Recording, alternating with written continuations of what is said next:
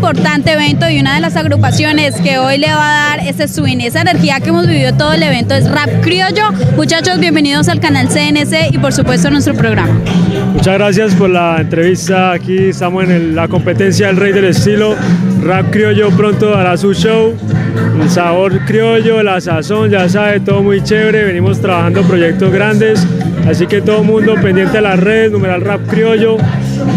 Bueno, pues Rap Criollo es una de las agrupaciones que se caracteriza en estar en los eventos urbanos y por eso yo sí quiero eh, comentarles y preguntarles a todos ustedes qué les ha parecido este evento que le da la oportunidad a tantos talentos del baile hoy en este Rey del Estilo.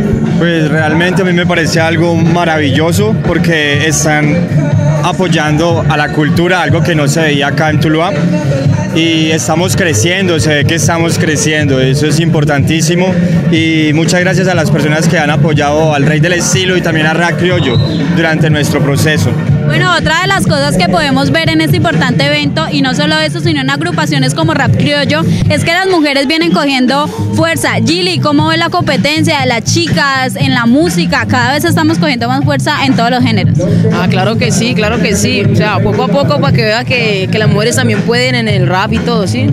Siempre representando el rap femenino. Claro que sí.